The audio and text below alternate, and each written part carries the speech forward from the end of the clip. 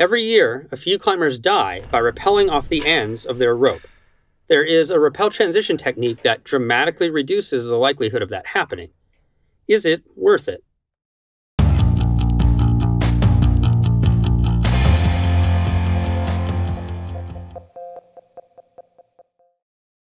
Hi there, I'm Jason. When we rappel, we want knots in the ends of our rope so that we can't rappel off of the ends.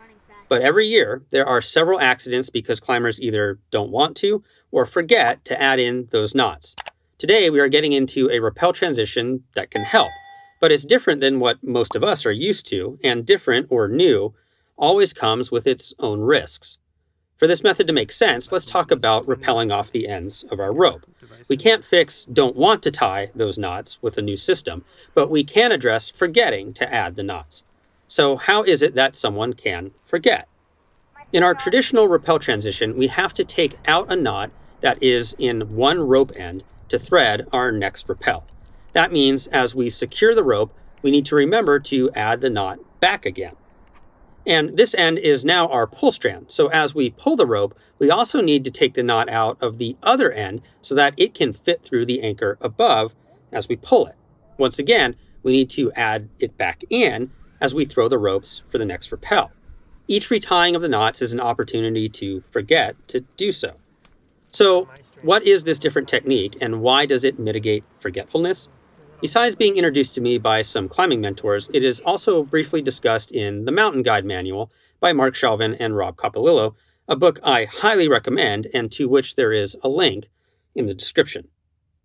Let's go through the procedure step by step and then discuss the rationale but the key is that we perform the transition without using a leashed connection to the anchor. As the first person comes down to the new anchor, they have one end of the rope attached to them with a bite knot. You'll see why as we complete this transition, and it's important. But for now, the climber has stopped their progress and makes their new anchor. Then they take the other end of the rope, which doesn't have a knot in it, more on that later, and threads it through the rappel point. Taking that threaded end, they make a new bite knot and clip it into their belay loop. From there, they take that same end and clove hitch it into their new anchor. They also pull more slack through the rappel point and add another locking carabiner. When the second climber comes down, the first climber gives that free locker to the second for them to clip into the anchor. With both climbers close to the anchor near the same end of the rope, the first climber is free to come out of their original bite knot, and the team is free to pull the rope and set the middle mark for the next rappel. Again, we are not adding a stopper knot to this pulled end.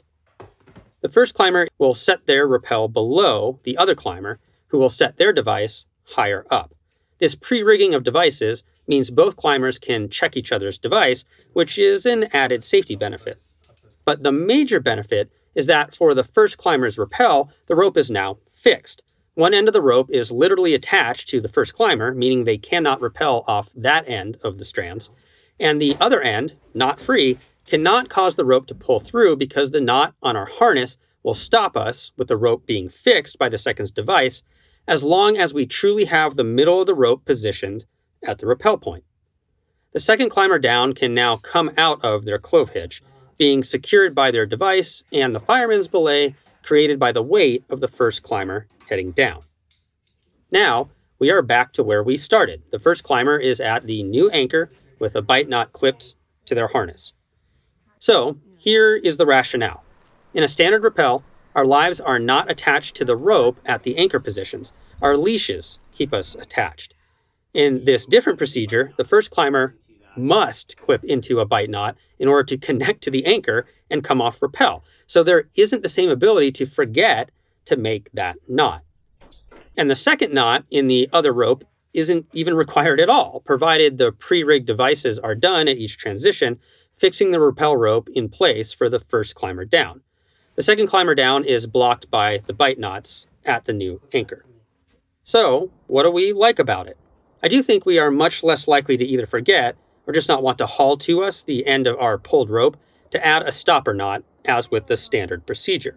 It also means we can't forget to take the stopper knot out of the rope end that is to be pulled through the anchor above, which would result in the rope getting stuck above if we did forget.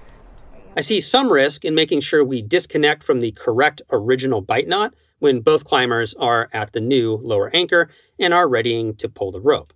On the plus side, though, there are two sets of eyes to double check that as part of the process.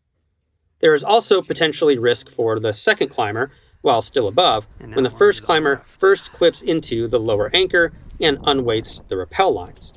Now the second climber doesn't have a fireman's belay.